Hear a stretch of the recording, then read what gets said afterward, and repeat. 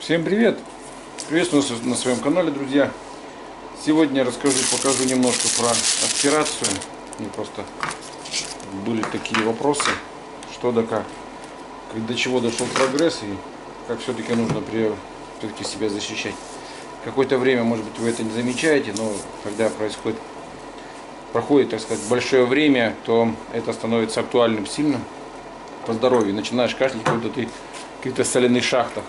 Особенно если работаешь каким-то таким ценным породой дерева, которые уже, особенно экзотой, да там тут до рака, наверное, может быть, очень сильно гробит здоровье.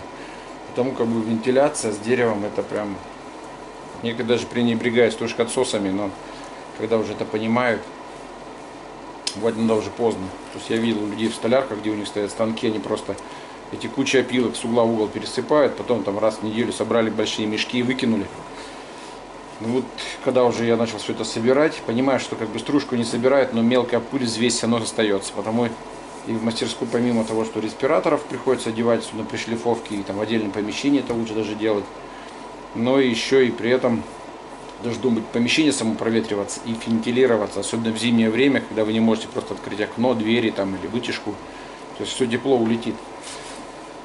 Ну вот по порядку. Начиналось у меня все с э, бюджетных эм, наборников, лепесточков. Это уже как бы не бюджетно считается, кремовский же с клапаном. А обычные простые дешевские, когда просто вот такая мембрана и все. Хотя их срок службы 2 часа по-хорошему. И все равно вокруг лица все черное, с него капает, бывает еще. Если одеваешь очки, то они запотевают. То есть вот это вот неудобство большое и эффективность процентов, наверное, на 60. Но это мое мнение, я как бы не специалист. Вот. Потом все-таки дошел я вот до такой уже маски. Кому интересно, Тремовская 7520, чтобы вопросов был. Вот. Но если такую берете, она уже как бы для, рассчитана для покраски. Как мне объяснили, что там, где воняет красками, лаками, в общем, в таком духе, не только пыль, то есть она более защищенная.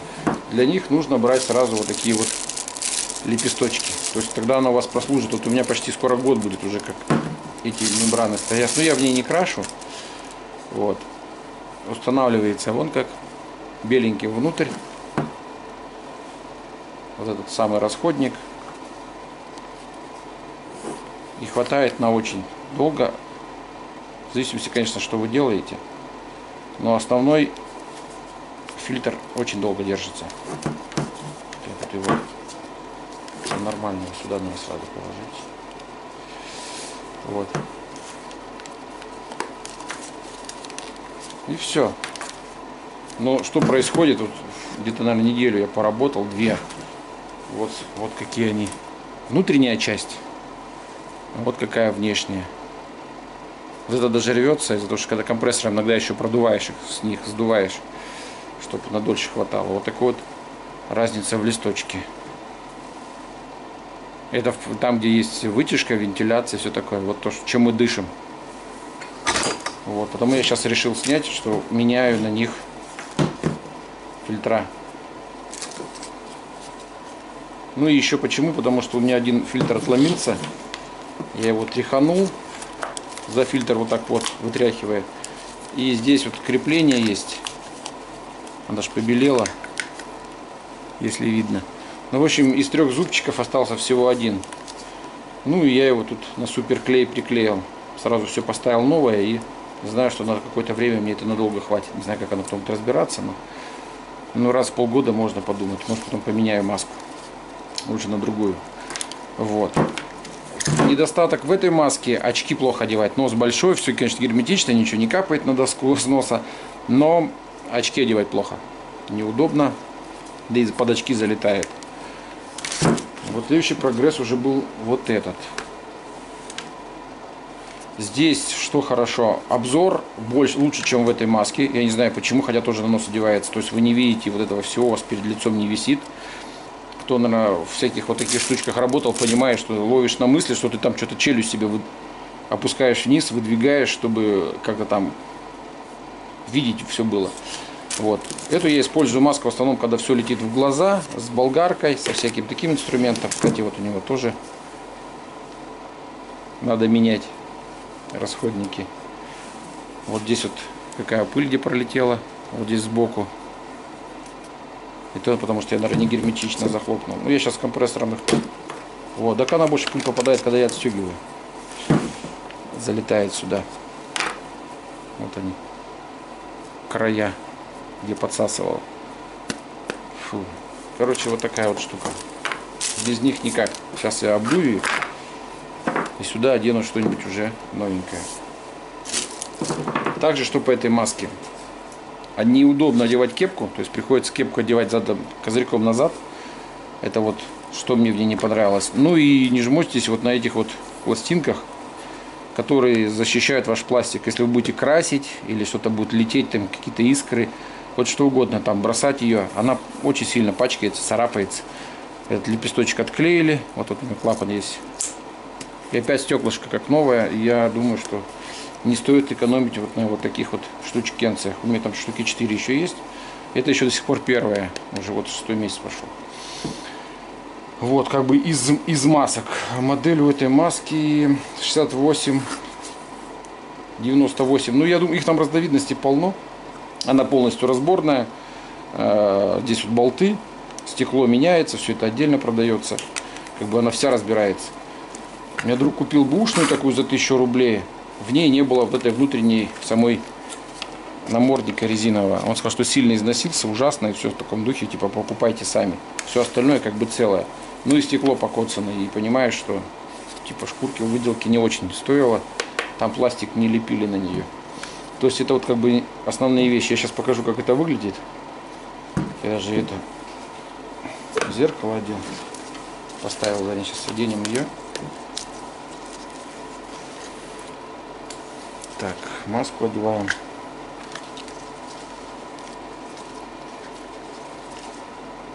Угу. Что тут у них? В трех столбах запутался.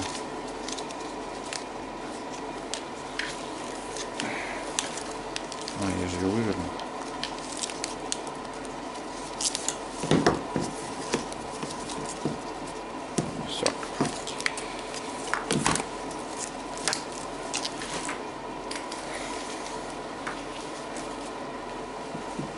Мне кепка одевается хорошо.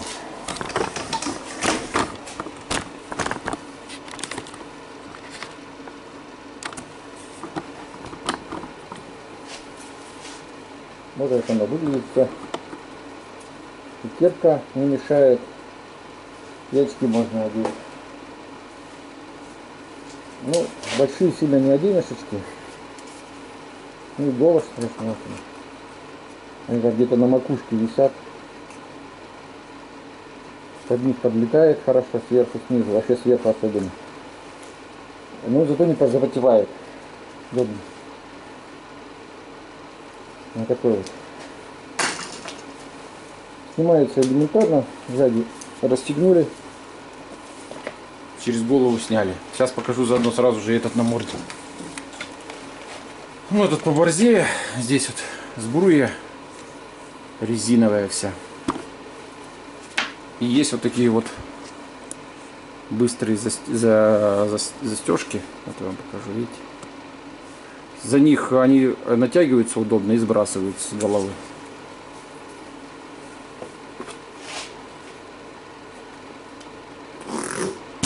И все. Концепция, конечно, уже только если вот так одевать, чтобы меньше пылища было. Ну и то, наверное, мне даже слышно вот она обзорности практически не мешает. То есть это вот не здесь, конечно, но обзор очень большой. Даже лицо больше открыто, нежели на той маске. Вот такая вот штука.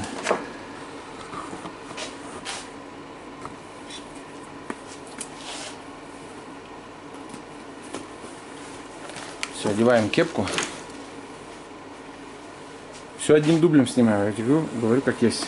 Сейчас вот у меня стоит система какая воздушный фильтр КАМАЗовский или МАЗовский, стоит вытяжка. Про нее у меня ролик есть, аспирация. Это та штука, которая вентилирует воздух именно в помещении. Непосредственно. Помимо того, что есть вытяжка на потолке, оно она сразу вытягивает на улицу и гудит. Сейчас я вам включу ее. Летом еще ничего, но зимой, конечно, она тепло забирает.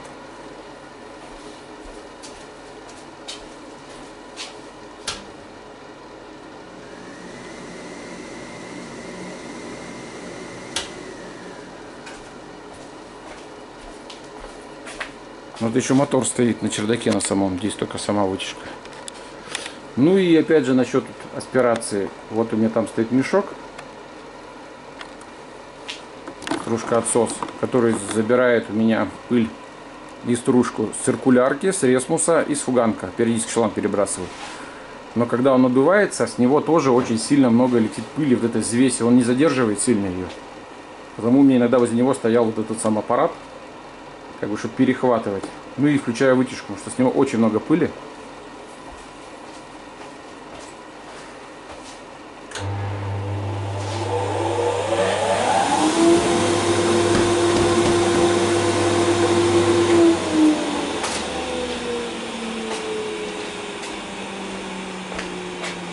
Вот так вот. И сейчас я хочу эту бошку поменять на вот эту конструкцию. Вот она. Зеркало. Вот она такая дура. Она по тому же принципу, что справа вот этот фильтр. Но она уже тряпочная. И у нее есть вот эта вот штука. Стряхивать внутри стружку. Ее уже я поставлю здесь непосредственно в помещении в самом. А большой стружкоотсос перенесу.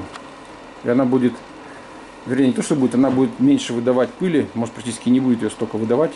Она практически в 10 раз э, выброс меньше, чем вот тут там что-то 0,30 или 0,3, здесь 0,3, 0,03. Что-то вот такие цифры. То есть вот этот барабан будет стоять в том стружкоотсосе и будет уже здесь пыли будет в помещении меньше на порядок. Это я уже точно знаю, потому что исход... сначала попробовал вот на этой штуке. И насколько в нем пыли много. Сейчас покажу. Он мне стоит как раз возле циркулярки здесь пыль перехватывать.